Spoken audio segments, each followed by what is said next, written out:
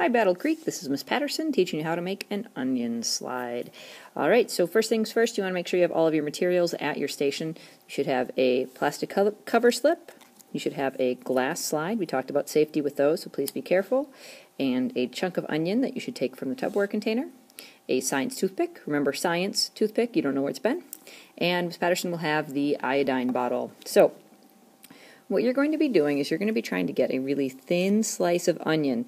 And what we're going to do is we're actually going to take the top layer off the chunk of the onion, which is right here. To do that, we're going to put our toothpick right in the side of it, so our toothpick is kind of stuck in there. And then we, when we pry this up, it allows us to take off this top layer of onion skin. So it looks like this. We are then going to put it right on the middle of the glass slide.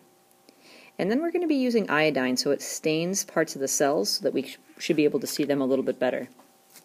The way we do that is we put one drop of iodine right in the middle. So it might not be, it might not cover everything and that's okay because what's going to happen is we're actually going to put this cover slip on and it's going to push that iodine everywhere.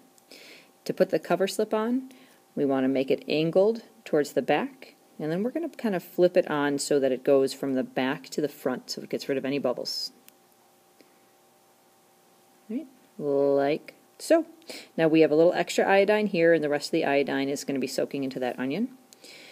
We're going to put this underneath the microscope so that we can see those cells in the onion skin. Remember, we're going to start out with the red power and then take a look at your direction sheets for what to do next.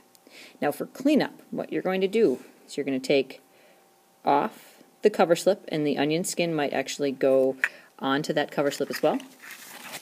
You are going to then take one of the pieces of paper towel that's at your station and just wipe that down.